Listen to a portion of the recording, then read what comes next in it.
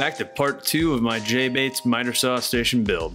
First step of part two was leveling the base cabinets. My garage floor had a decent amount of slope from left to right, so this took a little longer than expected.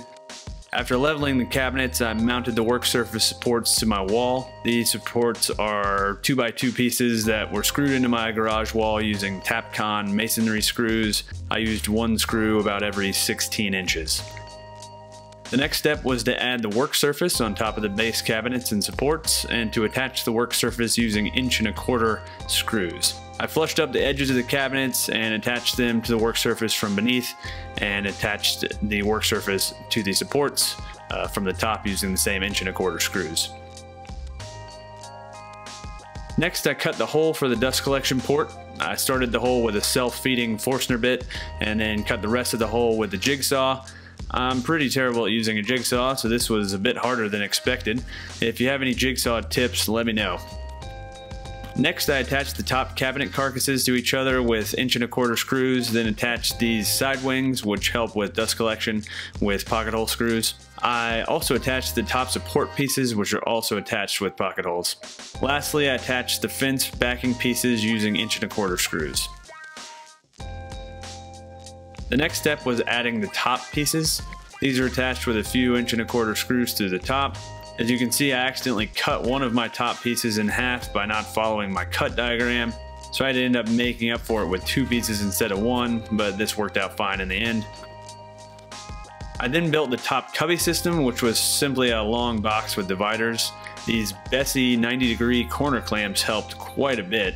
I used inch and a quarter screws and glue and made sure to pre-drill the hole since you're going into plywood end grain and risk splitting otherwise. I attached the back in the same manner with probably a bunch more screws than were necessary. After getting the cubby on top of the miter saw station, I secured it with a few inch and a quarter screws through the bottom of the cubby. The next step was adding all the drawer fronts to the drawers. Since I pre-cut all my pieces, this required a bit of adjusting, but they went together nicely in the end. I used an eighth inch spacer, just an offcut of plywood to space the drawers evenly, and they ended up looking really nice. I used a few inch and a quarter screws from the inside of the drawers to attach the drawer fronts. I then went about setting up the FastCap Best Fence bench mount system. This took a little trial and error as I realized the platform for my miter saw wasn't level, but the work surfaces on either side were. Uh, but I ended up shimming one end of the bench mounts and it worked out fine. And finally, I cut some triangular support pieces for the bottom platform drawer front. I cut this on the table saw using an Incra miter gauge and then attached the pieces using pocket holes and glue. All right guys, I'm gonna call that done. This project has been a real learning experience for me. Uh, definitely got real comfortable with pocket holes, did about 400 pocket holes for this build. Really the only things I have left to do is to add some hardwood, some hardwood trim up along the top edge here and along the edges of the work surface here. I'm gonna use some hard maple scraps that I have left over from a Roubo workbench project I'm working on but my jointer's on the fritz, so I'm gonna wait for that. The other thing is I'm probably going to finish the drawer fronts just to kind of help with wear and tear and that kind of thing.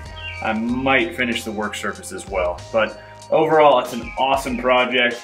This has given me so much storage space here in the shop. I'm planning to add some Kaizen foam from FastCap to the drawers.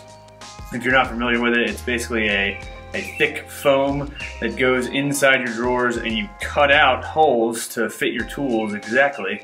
So it keeps the drawers super organized and you know exactly where your tools go after you're done using them. So really excited to try some of that. But overall, again, this has added so much storage to my shop and really just looks awesome as well and should last for many, many years. So thank you guys for watching this two-part series. If you missed part one, go back and watch it. Uh, it was obviously pretty essential to this build. Please consider subscribing to our YouTube channel. Uh, we put out new content every week. And if you enjoyed this video a lot, uh, please consider going to our Patreon page. Patreon is where you guys can support content creators like me uh, to keep these videos going. It, it's surprising how much these kind of things can end up costing. So until next time, thanks for watching guys and happy building.